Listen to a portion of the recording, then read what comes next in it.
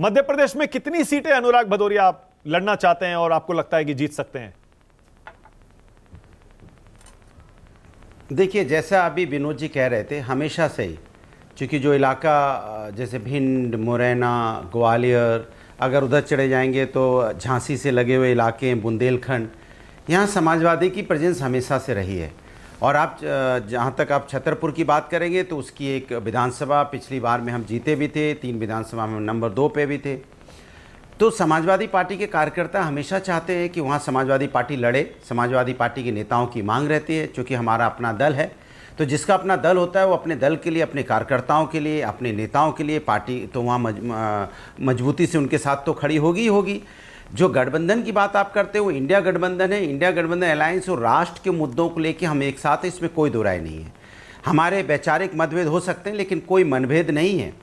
हमारी अपनी अपनी पार्टियाँ हैं अपने अपने दल हैं नेता हैं कार्यकर्ता हैं उनकी मांग होती है उनके मांग पे चुनाव लड़ा जाता है।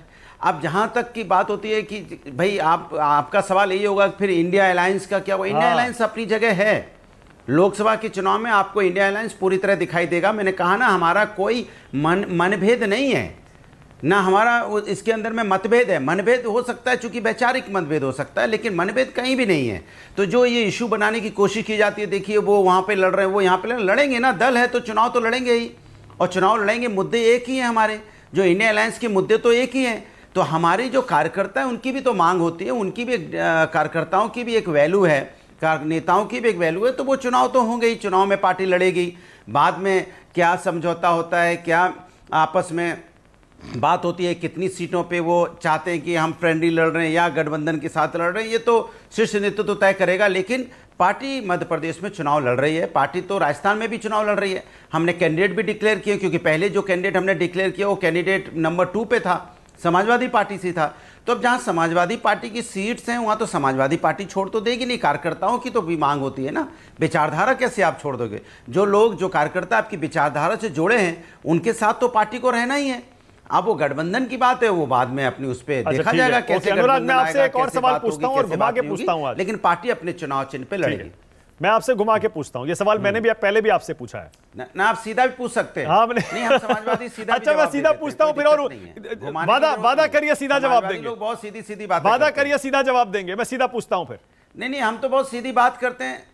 अरे हम लोग समाजवादी लोग ही तो बहुत सीधी ओके तो कहिए फिर अखिलेश यादव प्रधानमंत्री पद के उम्मीदवार हैं। हम तो हमेशा और उनको चेहरा घोषित कर देना चाहिए। कह दीजिए।